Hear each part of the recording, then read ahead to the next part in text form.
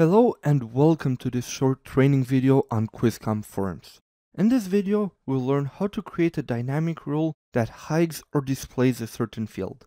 More specifically, our goal for this video is to optimize our help desk form by only showing the software field if the category equals software and the hardware field if the category equals hardware.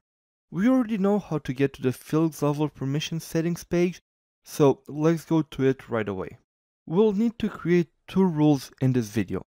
The first rule will apply to the hardware field. What we need to do is to hide the hardware field on all the three forms. So we'll select the new edit and view form. And the condition that we have to put, we have to say hide the hardware field unless the category field equals hardware. So in the column, I will choose the category field. We will then choose does not equal and then we select the hardware value and we click add for the rule and then we click on add field level permissions so we add this new rule to our form. Afterwards we need to create a similar rule for the software type.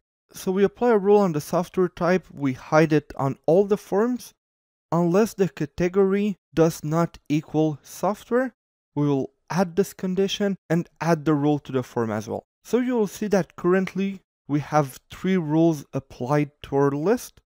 Lastly, an important change to do, especially for this type of rules, is to check the support client-side validation checkbox. This will allow the form to be dynamic and show or hide columns dynamically. We will cover the effects of this checkbox more in detail in a later video.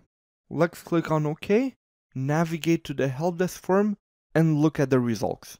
I will create a new item and you'll see by that default we don't see neither the hardware or the software field because there is no default choice in the category box. As I choose hardware, you see the hardware type appeared, and if I switch to software, the hardware type disappears and the software type field appears. Thank you for watching this video on how to create a dynamic rule with KWizCom Forms.